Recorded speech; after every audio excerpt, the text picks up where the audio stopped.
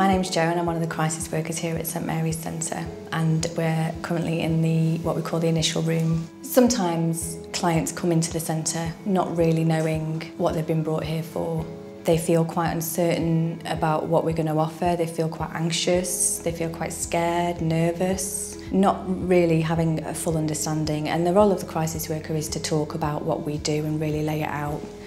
so that they can choose what they want to have done from us and we'll offer them everything and they can opt to have it all, parts of it, none of it at all. And it's really important to establish within here, before we go any further with the doctor, that they are fully aware of what we can offer. So one of the main roles of the crisis worker is to act on behalf of the client and, and represent them and advocate for them whilst they're here so that the crisis worker talks to the police officer or the social worker to make them aware of what the client definitely wants or definitely doesn't want to have done whilst they're here.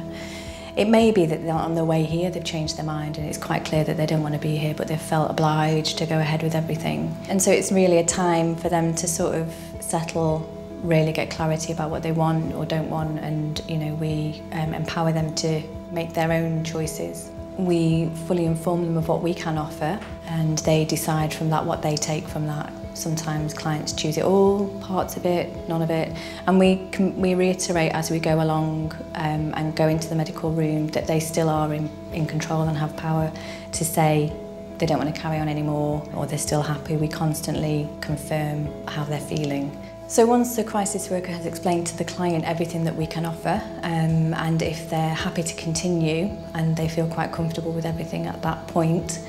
um, the crisis worker will have taken some contact details um, from the client and then we'll get the doctor in to do their bit. And before we do that, we explain to the client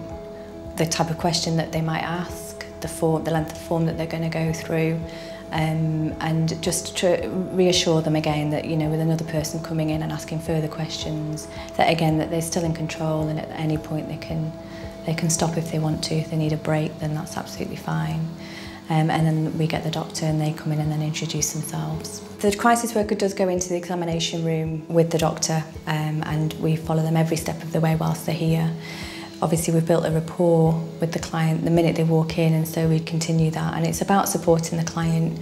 through the most difficult part really. Um, often the crisis worker will stand at the top of the bed talking to the client, holding their hand, reassuring them constantly and often we're the eyes for the doctor really. So if the doctor is busy doing their examination,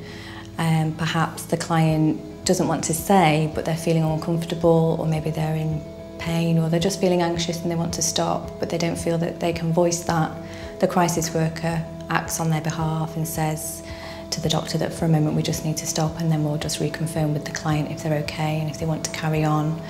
If they don't want to carry on, we give them that opportunity all the, all the time to make their voice be heard.